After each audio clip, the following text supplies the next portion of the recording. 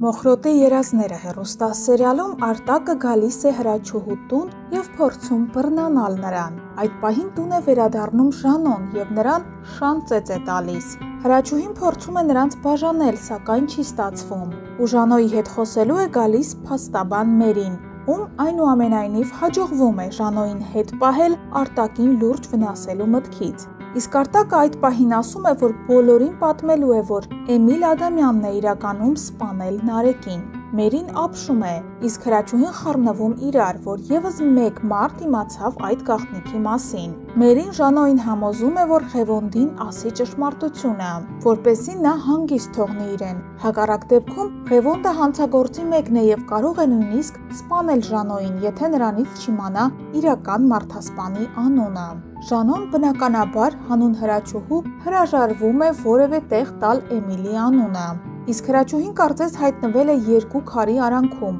Չգիտի ում աջակցի, ինչ անի։ Մի կողմից իր կյանքի սերն է, մյուս կողմից եղբայրը։ Նա մտքի ծայրով անգամ չի անցկացնում, որ Ժանոն կարող է բացահայտել իրականությունը։ Իսկ Ժանոն նեղվում է, որ հենց հերթը հասնում է Էմիլի թեմային, հրաչուհին կորցնում է արդար դատելու ունակությունը։ Հրաչուհին առավոտյան գնում է իր հայրական տուն, որպեսի ընտանիքի անդամների հետ խոսի ու պատմի արտակի սպառնալիքների մասին, որոնք գնալով վտանգավոր են դառնում։ Վանիկը ինչպես միշտ կոպտում է դստերը, վիրավորում նրան, իսկ Ազատն ու Մերսիդան պաշտպանում են։ Էմիլն էլ գիշերն անցկացնում է Էլայի տան դիմաց մեքենայում, որպեսզի հանգիստ լինի։ Սակայն վաղ առավոտյան Էլան տանից դուրս է գալիս ու առանց Էմիլին որևէ բան ասելու վերադառնում քաղաք իսկ Էմիլը միայն Էլայի հեռանալուց հետո է մտնում տուն եւ հայտնաբերում այն դատարկ։ Իդեպ, բազմաթիվ հետևորդներ մեկնաբանություններում գրում են, որ Էլայի հին տունը շատ է փոխվել, իսկ մենք հիշեցնենք, որ Սաթիկին սպանելուց առաջ Ղևոնդը վաճառել էր այդ տունը,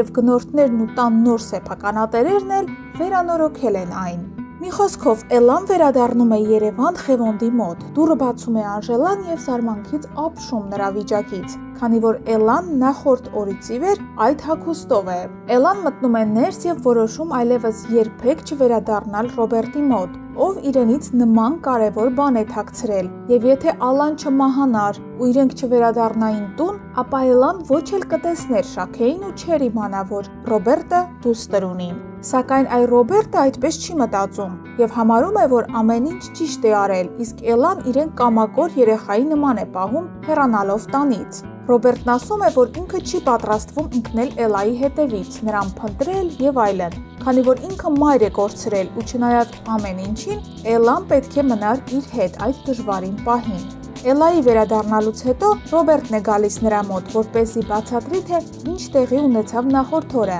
եւ որ Էլան իրեն շատ սխալ պահեց, փախչելով տանից։ Սակայն Էլան նույնիսկ չի ցանկանում լսել նրան ու նրա բացատրությունները, ասելով, որ Ռոբերտը պարտավոր էր մինչև ամուսնանալը իրեն պատմել ամեն բան, քանի որ ինքը նրան վստահել է անսահման։ Մի խոսքով Էլան ոչ մի կերպ չի համաձայնում գնալ Ռոբերտի հետ Իսկ Լևոնը հետո Ռոբերտին համոզում է ժամանակ տալ Էլային, որ เป զի նա հանգստանա ու ռեալ նայի իրավիճակին։ Մոնիկան էլ Էմիլի հետ խոսելուց եւ նրա կողմից վերջնական մերժում ստանալուց հետո զանգում է հորը եւ ասում, որ որոշել է հեռանալ Հայաստանից ու գնալ նրա մոտ։ Սակայն մեծ հարց է, արդյոք Մոնիկան իրոք կհեռանա, թե Արտակը կպատմի նրան, որ Էլան իրականում չի ամուսնացել ու այդպիսով Էմիլի շանսերն ավելանում են, եւ Մոնիկան կմնա Երևանում, որպեսի այնպես անի, որ եթե Էմիլը իրենը չէ, ուրեմն Էլայինն էլ չլինի։ Հարգելի հետևորդներ, արդյոք Էլան ճիշտ է անում բաժանվելով Ռոբերտից։ Ձեր կարծիքը գրեք այս տեսանյութի ներքևում եւ չմոռանաք բաժանորդագրվել մեր TV ալիքին։